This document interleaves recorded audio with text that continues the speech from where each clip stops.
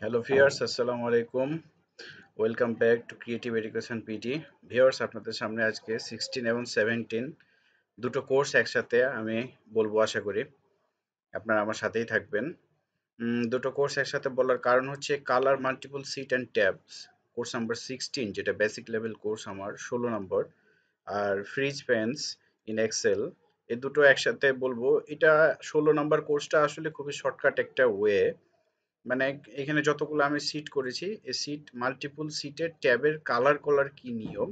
এই নিয়মটা আসলে বলার জন্য এই কোর্সটা ষোলো নাম্বারে একটা রাখছি ভিউয়ার্স তো কালার করতে হয় কীভাবে? দেখেন, এগুলো প্রত্যেকটা একটা করে ট্যাব দেখতে পাচ্ছেন। এখানে আমি যতগুলো কোর্স করাইছি বেসিক লেভেলের বেসিক লেভেলের প্রত্যেকটা কোর্সের একটা করে ট্যাব এই ট্যাবের যদি আমি কালার করতে চাই, তাহলে ডান বাটন ক্লিক করে এই যে ট্যাব কালার দেখছেন, ট্যাব কালারে আমি যে কোনো কালার করে দিতে পারি। দেখেন কালার হয়ে গেছে।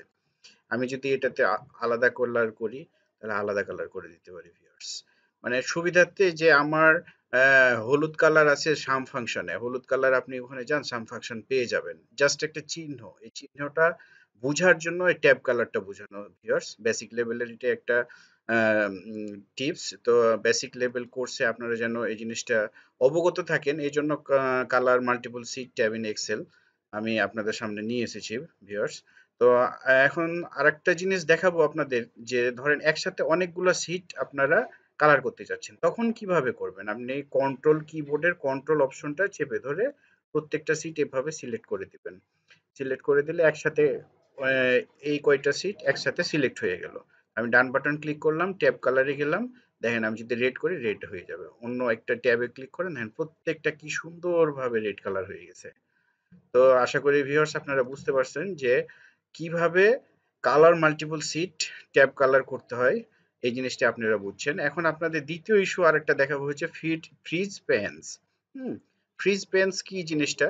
এখানে আপনারা অ্যাজ ইউজুয়ালি আমি ওয়ার্কিং সিট তৈরি করে রেখেছি ইউজুয়ালি আপনারা দেখতে পাচ্ছেন। তো এখানে ভিউ অপশনে এখানে হোম ট্যাবে আছে, আমি ভিউ ট্যাবে যদি যাই ভিউ অপশনে গিয়ে এখানে দেখবেন ফ্রিজ পেন্স লেখা। এই ফ্রিজ পেন্সের কাজটা কি? তো আমি যখন মাউসটাকে স্ক্রোল করব, তখন দেখেন এই ক্রিয়েটিভ এডুকেশন বিডি এবং basic level course two days topic এবং এই চার নম্বরের এই হেডিংগুলা স্ক্রোল করার সাথে সাথেই কিন্তু চলে যাচ্ছে। মেন যে কাজটা, এটাই কিন্তু বন্ধুরা, এই ফ্রিজ পেন্সের কাজটা। ধরেন আপনি রো কিংবা কলাম ফ্রিজ পেন্স করতে চাচ্ছেন। তো আমি ধরেন ওপরের যে চার নাম্বার রো থেকে ওপর পর্যন্ত দেখতে চাচ্ছি, আমি স্ক্রুল করলেও ওগুলো থেকে যাবে। এটা কীভাবে করব? মজার একটা জিনিস বন্ধুরা ভালো করে বোঝার চেষ্টা করবেন। আমি পাঁচ নাম্বার রোয়ে ক্লিক করলাম। পাঁচ নাম্বার রোয়ে ক্লিক করার পর যদি আমি ফ্রিজ পেন্সে ক্লিক করে এই ফ্রিজ পেন্সের ওপরের ট্যাবে ক্লিক করি জাস্ট তাহলে দেখেন আমি যদি মাউস এখন স্ক্রোল করি তবু কিন্তু থেকে যাচ্ছি। কি সুন্দর, চমৎকার, তাই না বন্ধুরা? কিন্তু এখানে আর একটা বোঝার বিষয় আছে। আমি যখন ডান দিকে আপনার স্ক্রল করে চলে যাচ্ছি, তখন দেখেন ডান দিকে কিন্তু সাপোজ আমি ডেজিগনেশন পর্যন্ত রাখতে চাচ্ছি, যে দেখা যাবে। হ্যাঁ কিন্তু যখন আমি ডান দিকে স্ক্রোল করে চলে যাচ্ছি, তখন কিন্তু থাকতেছে না। এটা কীভাবে করব বন্ধুরা? আমি তো আপনাদের ফ্রিজ প্যান্স কীভাবে করতে হয়? ফ্রিজ করা দেখালাম, কিন্তু আনফ্রিজ কীভাবে করতে হয়? ঠিক সেম ভাবে আবার আনফ্রিজ করে দিলাম। এখন ইস্যুটা হচ্ছে ডান দিকে স্ক্রোল করলে এবং ওপরের হেডিং দুটো আমি একসাথে রাখতে চাচ্ছি। আমি ধরেন এই ডেজিগনেশন কলামের এই ডেজিগনেশন পর্যন্ত এতটুকু এবং উপরের রো চার নম্বর রো থেকে এক নম্বর রো এতটুকু। তাহলে আমার মিডিল পয়েন্ট কোনটা হচ্ছে? এই যে জুনিয়র ডেভেলপার মিস্টার করিমের বারো হাজার পাঁচশত পঞ্চাশ টাকা।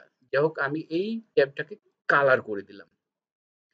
আমি কিন্তু এই পাশের কলাম থেকে আর এই রোর ওপর থেকে রাখতে চাচ্ছি। তাহলে আমার মিডিল পয়েন্ট কিন্তু এইটা। খুব ভালো মতো বুঝতে হবে বন্ধুরা যে, আপনি সাপোজ যদি বেসিক স্যালারি পর্যন্ত রাখতে চাচ্ছেন তাহলে কিন্তু আপনার মিডিল পয়েন্ট হইতো এইটা। বেসিক স্যালারি পর্যন্ত যদি রাখতে চান চাইতে, চাইতেন আর কি যেহেতু আপনি বেসিক স্যালারি রাখছেন না, আপনি ডেজিগনেশন পর্যন্ত রাখতে চাচ্ছেন, সেহেতু আপনার মিডিল পয়েন্ট কিন্তু এইটা হ্যাঁ?